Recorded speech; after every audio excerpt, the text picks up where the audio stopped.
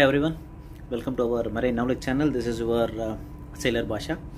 So today again something technical only. So uh, every time we open any hydraulic uh, nut, we use hydraulic jack to open it. So if the jack is leaking, what we need to do?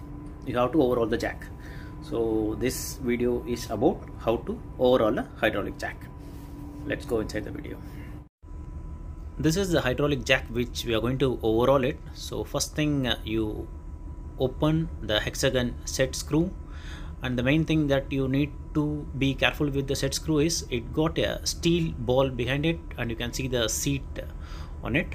This is the steel ball which i am talking about. So keep both the screw and the ball safely.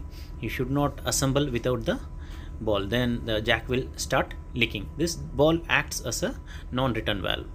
So now what we need to do is next we need to remove the piston and uh, the cylinder. So how we need to do that? Just blow air. Just blow air you can see the piston and cylinder getting opened.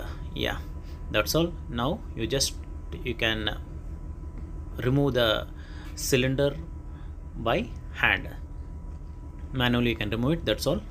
So this is the piston and this piston has a backup ring and the black color is the o-ring. So this uh, again on the cylinder also you can find a backup ring and a o-ring. So usually what happens is when this backup ring or o-ring get damaged then the jack will start leaking. So remove the o-ring and uh, take out the backup ring. Backup ring is usually of teflon and uh, keep it separate and again open the backup ring and uh, uh, o-ring for cylinder also. You can see uh, this backup ring is got damage and that is the reason uh, the jack is being uh, leaked. So you can see leakage because of this only. You can see both o-ring is also damaged and that is the reason when the jack is being pressurized the oil tends to leak out. So now all we need to do is we have to clean the cylinder surface with clean rags ensure the o-ring and backup ring groove is clean. Usually this uh, o-rings and uh, cylinder uh, o-ring and uh, backup ring area will be always clean only because we are using only hydraulic oil. So there is very less chances of uh, getting dirty and blow air and all the vent holes. Just ensure uh, air is coming out. That's also once the air is coming out that means the passage is free. So all the hydraulic oil passage you need to just blow air ensure it is clean. A passage is clear of any kind of dirt. So once that is done blow air clean with rags clean rags do the same thing for uh, both uh, piston and cylinder.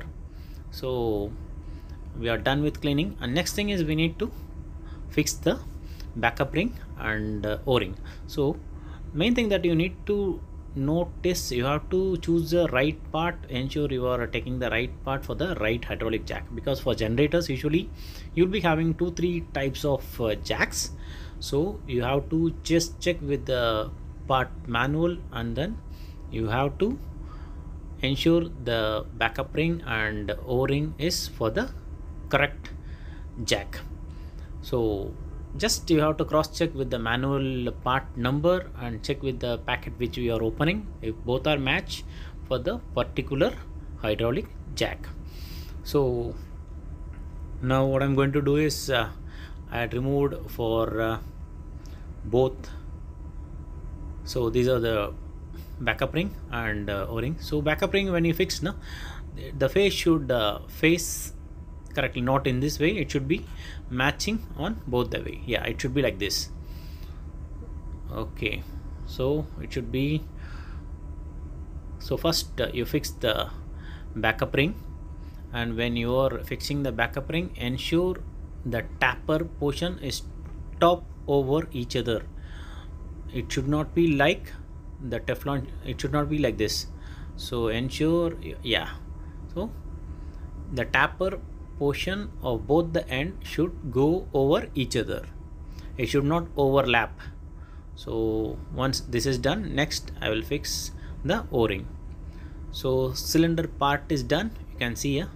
You can see backup ring on top on bottom is the o-ring. So the same way we do for the piston so cylinder part is done. We renewed both the backup ring and o-ring. So next is uh, we need to do the renewal of backup ring and o-ring for piston. Again the same thing. Whenever you do the renewal please check the spare parts. So as I said earlier the backup ring tapper portion should be on top of each other should not get overlapped so first uh, I'm going to fix the backup ring and next is the o-ring so both are in place.